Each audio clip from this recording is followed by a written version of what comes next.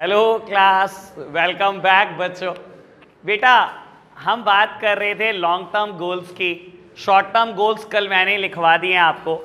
Long term goals बेटा, अभी सबसे पहले नोट डाउन करेंगे. वैसे मैंने एक बार समझा दिया था. बाबू, लिखने के बाद मैं एक बार और समझा दूँगा और फिर आगे बढ़ेंगे. और आपको बता देता हूँ, बेटा, अगर आप किसी प्राइवेट राइटर की बुक भी फॉलो कर रहे हो, कुछ बच्चों के पास टी आर एन वी के ही है तो उसके हिसाब से हमारा चैप्टर टू भी यहीं खत्म हो जाएगा. ठीक है ना? उस बुक के हिसाब से हमारे पास चौदह चैप्टर हैं बेटा। चैप्टर टू खत्म हो जाएगा बेटा, और दो से तीन दिन के बाद चार चैप्टर खत्म हो जाएँगे उस बुक के हिसाब से। मैं आपको ये फ़र्स्ट श्योर बोल रहा हूँ थर्टी फ़र्स्ट अगस्त को जब मैं ये बुक छोड़ दूँगा फ़र्स्ट ऑफ़ सितंबर से मैं रिवीजन बैच स्टार्ट करूँगा बेटा तीन महीने का मैक्रो का ही। ठीक है ना? मुझे पक्का पता है फिफ्टी परसेंट सिलेबस जो एमसीक्यू बेस्ड पेपर होने वाला है दिसंबर में, वो बेटा मैक्रो का होगा। थर्टी फ़र्स्ट अगस्त तक बेटा हम इस बुक को 70 टू 80 परसेंट फिनिश कर चुके होंगे। और ये मैं इसीलिए करा रहा हूँ बेटा कि जनवरी फेबररी में दिक्कत ना है वहाँ सिर्फ़ दो महीने होंगे गिन के। एक जनवरी को शुरू हो गया, अट्ठाईस फेब्रवरी को खत्म हो गया। बेटा मार्च के फ़र्स्ट वीक में एग्ज़ाम है। तो वहाँ सिर्फ़ गिनती के दो महीने हैं बेटा। अगर यहाँ सत्तर से अस्सी परसेंट सिलेबस पूरा नहीं होगा तो बेटा वहाँ कुछ कर नहीं पाओगे आप। बीस से तीस परसेंट सिलेबस भी करना होगा और पूरी बुक रिवाइज करनी होगी। याद करके पेपर देना है। दो महीने के अंदर अंदर। और खाली मेरे सब्जेक्ट का नहीं है। ये भी पता होगा मैथ्स और अकाउंट्स कहाँ जाने वाली है। ठीक है ना जी? तो बेटा, इसीलिए कराई जा रही है ये मेहनत। थर्टी वर्ष अगर तक seventy to eighty percent syllabus finish करो इसका। ठीक है? चलो जी। बाबू, मैं नोट कराना शुरू कर रहा हूँ। ये ना हो बेटा कोई नोट नहीं कर रहा। जिस दिन नोटबुक चेक करी, उस दिन बाहर निकाल दूँगा। ठीक है ना? चलो, फटाफट से बेटा नोट्स बनाने शुरू करेंगे। Long term goals long term goals of 5 year plan.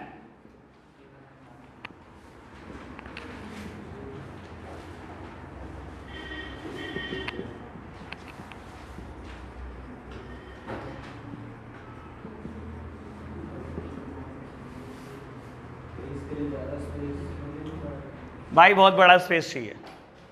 हाँ नेक्स्ट पेज से नेक्स्ट टॉपिक कर दो बेटा। ठीक है ना? मैंने आपको कहा था लॉन्ग टर्म गोल्स में वहाँ सिर्फ़ राइट हैंड साइड में हेडिंग लिखना।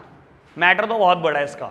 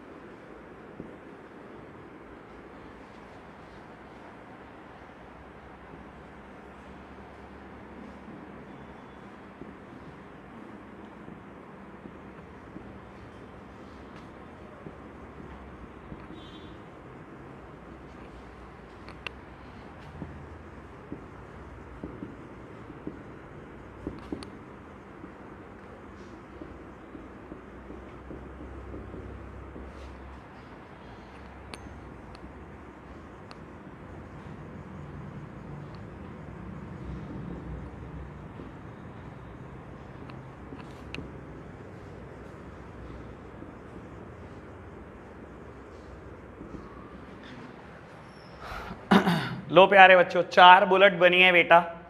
मैंने चार बुलेट में ख़त्म कर दिया फ़र्स्ट हेडिंग बेटा, मैं शुरू की दो बुलेट तक रब कर रहा हूँ और आगे लिख रहा हूँ। ठीक है? इतना तो सबने लिख लिया होगा।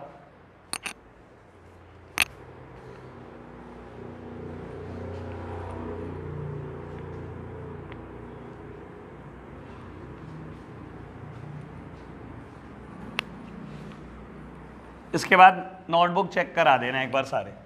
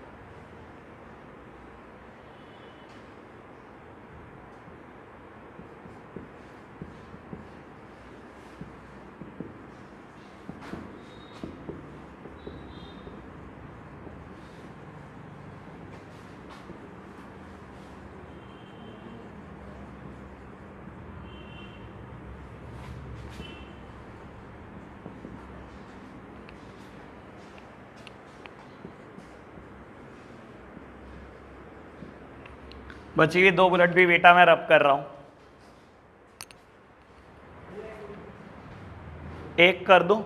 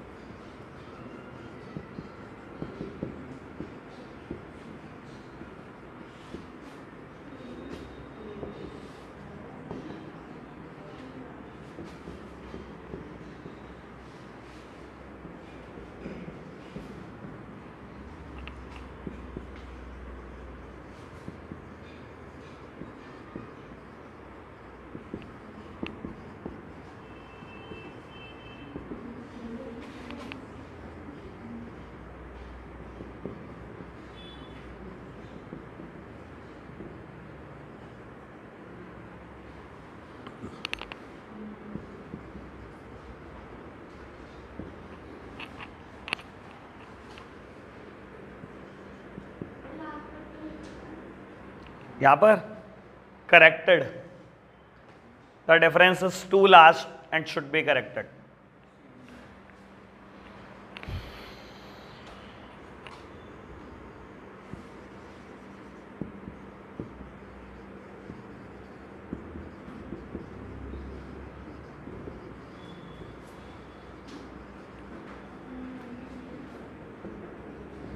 फटाफट से बेटा, ये दोनों हेडिंग नोट करो, फिर आगे की दो लिखते हैं। चलो जी बेटा लास्ट बुलेट रब कर रहा हूँ और ऊपर से दो बुलेट रब कर देता हूँ। चलो एक कर देते हैं, ये लो यार, रो ना, ज़्यादा ना रो। लो। थर्ड मेन हेडिंग मॉडर्नाइजेशन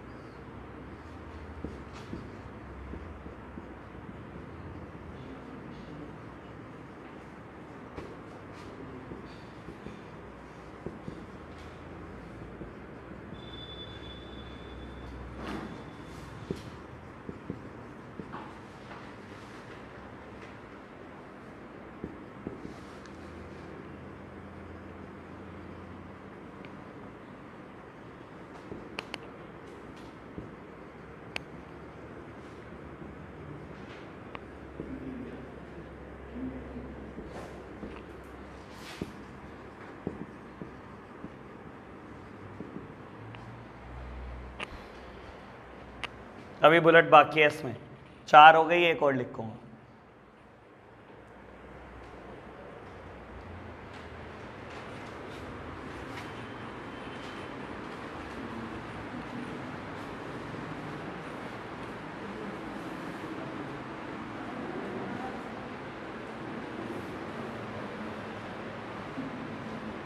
साथ साथ है मेरे।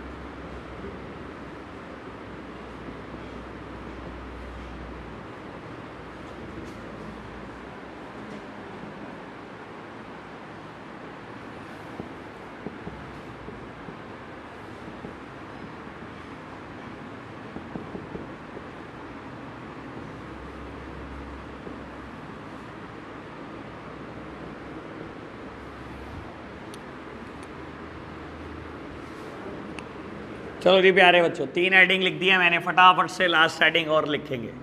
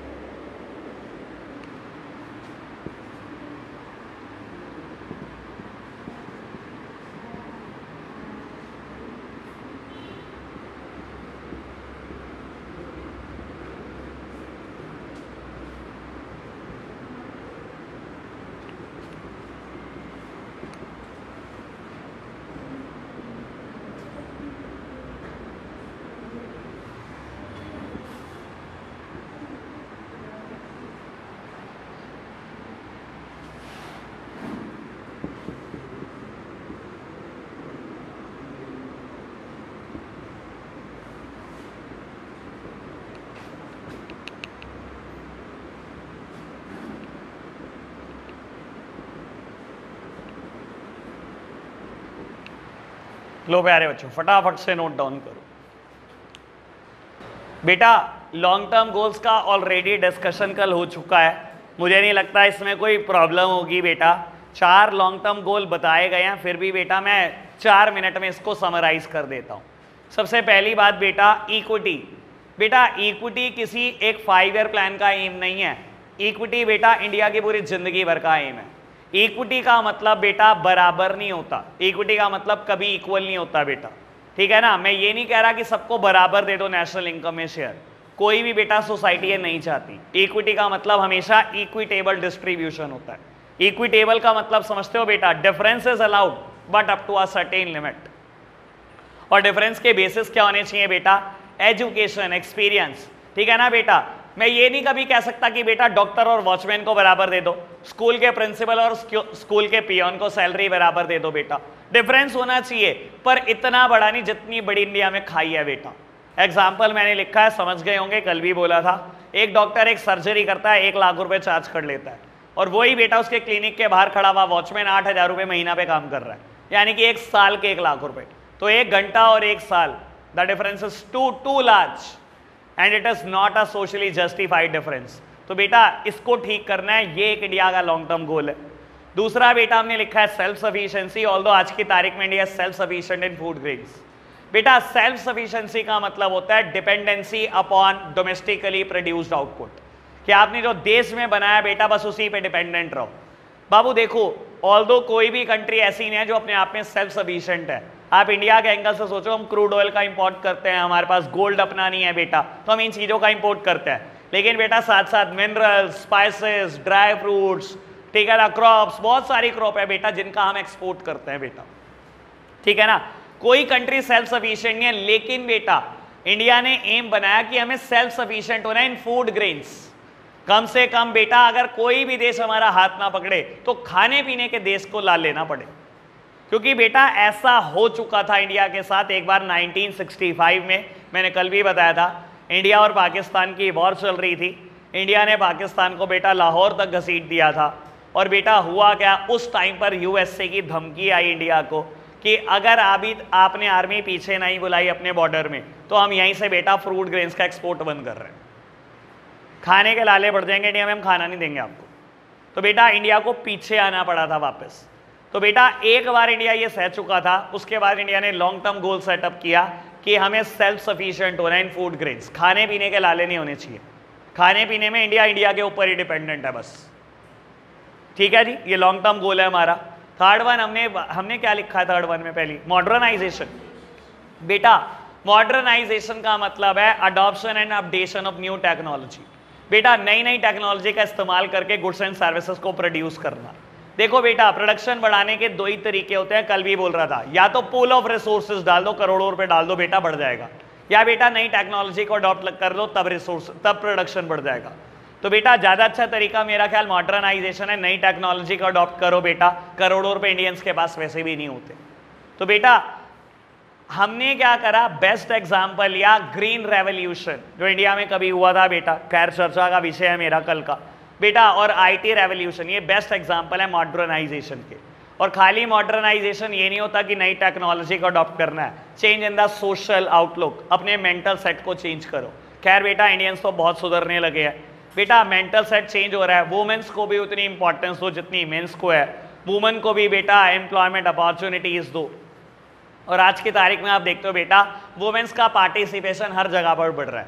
बैंक्स चले जाओ दो तीन बेटा एम्प्लॉय दिखाई देंगे वुमेन स्कूल चले जाओ मोस्टली टीचर वुमेन से बेटा. ठीक है ना? फार्म्स में काम कर रही हैं वुमेन फैक्ट्रीज में काम कर रही हैं. तो हर जगह पर बेटा उनका पार्टिसिपेशन बढ़ रहा है. तो खैर मॉडर्नाइजेशन तो देश में हो रहा है, अगर इस हिसाब से सोचोगे. टेक्नोलॉजी वाइज हो रहा है कि नहीं हो रहा सोशल आउटलुक बदल रहा है लोगों का. ठीक है ना? बेटा, उसके बाद लास्ट हमने बात करी जीडीपी ग्रोथ बाबू प्राइमरी सेक्टर सेकेंडरी सेक्टर और टर्सरी सेक्टर मिलकर जितना कंट्रीब्यूट करते हैं एक देश में, वो उस देश का जीडीपी है. और बेटा जीडीपी रुकना नहीं चाहिए। जीडीपी ग्रोथ रेगुलर होनी चाहिए। अगर ये रेगुलर है बेटा, एक इसी चीज़ को हम इकोनॉमिक प्रोस्पैरिटी बोलते हैं कि ये इकोनॉमी बेटा बहुत प्रॉस्परस है बेटा, ये रेगुलरली बढ़ रही है। लेकिन खैर कोविड ने हर इकोनॉमी को तोड़ा है बेटा इंडिया भी टूटा है। लेकिन मैं एक बात बोल सकता हूँ बेटा जीडीपी ग्रोथ किसी एक फाइव ईयर प्लान का एम नहीं है।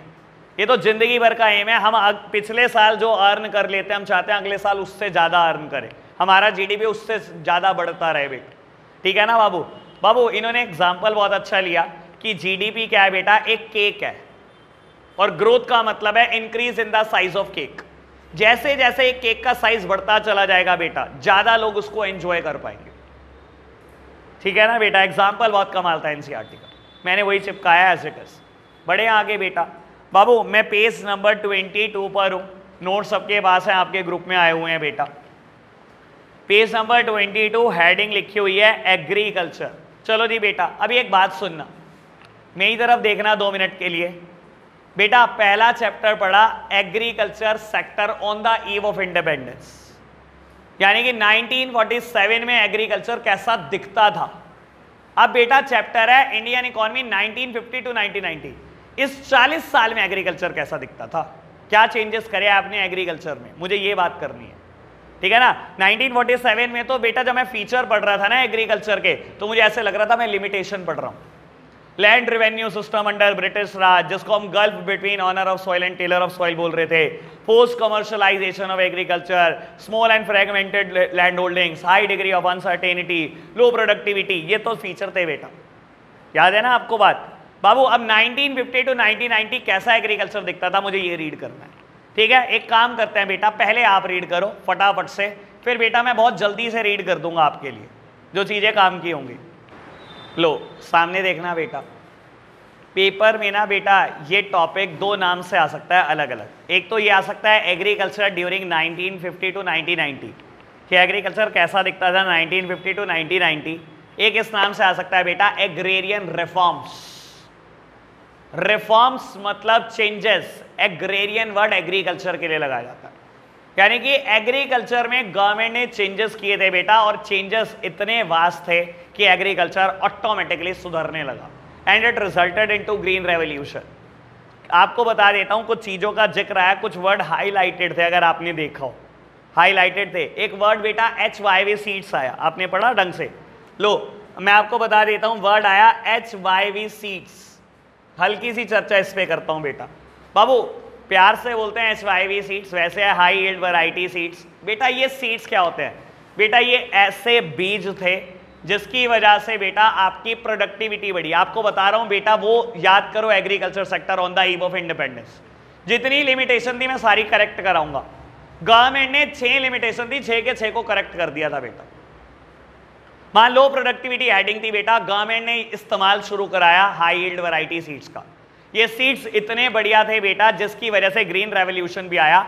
आपके per hectare output per sorry per hectare land per बेटा आउटपुट चार चार गुना हो गया। सीड्स का कमाल देखो, लेकिन इस सीड्स के साथ एक ड्रॉबैक था बेटा, अगर सीड्स का यूज़ करते थे तो केमिकल फर्टिलाइज़र पेस्टिसाइड और इंसेक्टिसाइड का यूज़ रेगुलरली करना पड़ता था। इन सीड्स में कीड़ा जल्दी लगता था बेटा। तो बेटा आपको पेस्टिसाइड इंसेक्टिसाइड्स चाहिए ही चाहिए, और केमिकल फर्टिलाइज़र का यूज़ करते हो। देखो बेटा, हर चीज़ का एक सर्टेन एक्सटेंट तक यूज़ ठीक माना जाता है। हमें लगता है, यार, हमारे को आज की तारीख में कुछ भी ऑर्गेनिक खाने को नहीं मिलता। ठीक है ना? सब चीज़ें केमिकल से प्रोड्यूस हो रही हैं। बेटा केमिकल फर्टिलाइज़र का भी यूज़ ठीक है, लेकिन up to a certain limit लोगों ने अति कर दी है।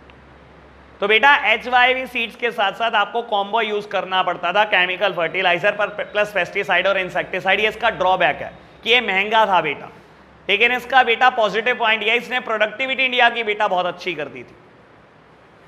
ठीक है, पहली बात। दूसरी बात, बेटा आपने पढ़ा होगा, वहाँ पर हमने पढ़ा था बेटा लिमिटेशन में, पहली लिमिटेशन मतलब बाबू gulf between owner of soil and tiller of soil जिसको आप land revenue system under British Raj बोलते हो। बेटा, आपको याद है, एक रिलेशनशिप थी जिसको हम बोलते थे ट्रायंगुलर रिलेशनशिप ठीक है ना? ये रे ब्रिटिश गवर्नमेंट ये रे ऑनर ऑफ़ सॉइल जिसको हम जमींदार बोलते थे बेटा, और ये थे टेलर ऑफ़ सॉइल जिसको फार्मर बोलते थे। ये एक फिक्स रेंट जमा करते थे ब्रिटिश गवर्नमेंट को, इसके बदले में फार्मर को जितना चाहे उतना एक्सप्लॉइट कर सकते थे। यही थी ना कमी। बेटा गवर्नमेंट ने क्या करा? जमींदार को ऑनर हटा दिया। अब इंडिपेंडेंट इंडिया ब्रिटिश गवर्नमेंट नहीं है। बेटा डायरेक्ट रिलेशनशिप एस्टेब्लिश करी इंडियन गवर्नमेंट और फार्मर्स के बीच बेटा। इनको बीच से हटा दिया। इनसे लैंड छीनी। ये तो ऑनर थे भी नहीं ना ब्रिटिश गवर्नमेंट ने बनाया था ना। इनसे ऑनरशिप छीन कर बेटा अगेन इनको ऑनर बना दिया गया। और बेटा डायरेक्ट टच में आ गए बेटा। ये लिमिटेशन वहाँ पर थी, बेटा, ये भी दूर कर दी। तीसरी बात, बेटा लैंड सीलिंग वर्ड आया बहुत अच्छे से, अगर किसी ने पढ़ा तो। पता है आपको क्या मतलब होता है लैंड सीलिंग का? क्या? बेटा, अब इंडिया में इतने सारे फार्मर क्या होगा उनका? सबको लैंड कैसे मिलेगी? मान लो एक इंसान के नाम में एक यूनिट बोलता हूँ बेटा, एक लैंड मेज़रमेंट की यूनिट होती है, किला। ठीक है ना? अगर एक इंसान के नाम 500 किले ज़मीन है, और आपने बेटा उठाकर जमींदार को दे दी थी ब्रिटिश गवर्नमेंट ने, आज इंडियन गवर्नमेंट ने दोबारा जमींदार से उठाकर फार्मर को दे दी। 500 किला ज़मीन पता कितनी होती है? आप सोच भी नहीं सकते बेटा, खड़े हो जाओगे, जहाँ तक नज़र जाएगी, वहाँ तक देख लेना। इतनी होती है। तो फार्मर तो बेटा अकेले तो कुछ भी प्रोड्यूस नहीं कर पाएगा। तो गवर्नमेंट एक लॉ लाई बेटा लैंड सीलिंग का।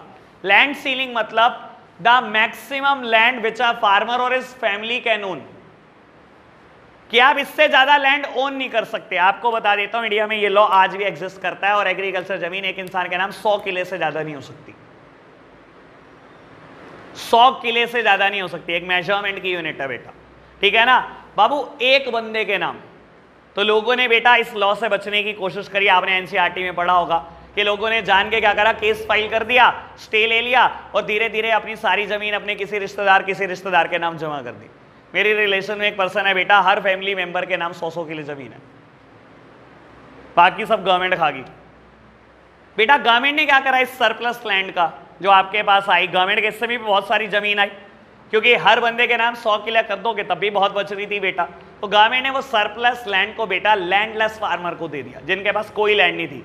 सिर्फ़ बेटा कल्टीवेट करते थे, जो टेलर ऑफ़ सॉइल थे। जिनके पास कोई लैंड नहीं थी, बेटा, उनको बाबू ऑनर बना दिया गया उस सरप्लस लैंड का। तो गवर्नमेंट ने ये बहुत अच्छा स्टेप लिया। एक और काम किया बेटा एनसीआरटी नहीं लिखती, लेकिन मैं बता देता हूँ, बड़ा इंपॉर्टेंट मुद्दा है, जिसको हम लैंड कंसोलिडेशन बोलते हैं। आपको पता होना चाहिए बेटा, एक प्रॉब्लम थी हमारे पास 1947 में एग्रीकल्चर सेक्टर में, कि small and fragmented land holding थी। याद है आपको मैंने बताया था कि 200 गज का टुकड़ा एक जगह 400 गज का टुकड़ा एक जगह 800 गज का टुकड़ा एक जगह। Distance 25 25 30 30 kilometre. बैलगाड़ियों से कौन जाएगा भाई? आप क्या करते थे? सबसे बड़ा टुकड़ा उठाते थे, उस पर बेटा कल्टीवेट करते थे और बाकी सब बेटा टुकड़े अन अनइकॉनमिक रह जाते थे। गवर्नमेंट ने पूछा, कितनी ज़मीन है? उसने कहा, दो बीघा ये, चार बीघा ये छः बीघा जी मैं छः बीघा पे खेती करता हूँ, चार बीघा, दो बीघा खाली पड़ी रहती है। गवर्नमेंट ने कहा, ठीक है। हम तेरी लैंड को कंसोलिडेट कर देते हैं। कंसोलिडेट करने का क्या मतलब होता है बेटा? एक जगह पर लैंड अलॉट कर देना। Instead of your scattered land here and there आपकी जो इधर उधर लैंड पड़ी है, ये गवर्नमेंट का नाम लिख दो, बारह बीघा। बारह बीघा सरकार एक जगह पर दे रही है आपको ज़मीन। ताकि कोई भी अनइकॉनमिक ना रह जाए बेटा। तो लैंड कंसोलिडेशन बड़ा एप्रिशिएटिंग स्टेप था गवर्नमेंट का। आज तक एग्जिस्ट करता है इंडिया में। समझ में आया? लैंड सीलिंग क्या था? लैंड कंसोलिडेशन क्या था? एच वाई वी सीट्स क्या थे बेटा? ठीक है ना? बेटा, गल्फ खत्म कर दिया, टेलर ऑफ़ सॉइल, जमींदारी खत्म कर दिए गवर्नमेंट ने तो। और आपको बता देता हूँ रिफॉर्म इतने नहीं है, पंद्रह है। एनसीआरटी चार लिखती है। अभी तो डिस्कशन करेंगे इसका। लेकिन जितना आपने पढ़ा, मैंने उतना का डिस्कशन कर दिया। ठीक है? अभी करेंगे और कल डिस्कशन लिखेंगे बेटा सबको। हाँ जी हाँ जी।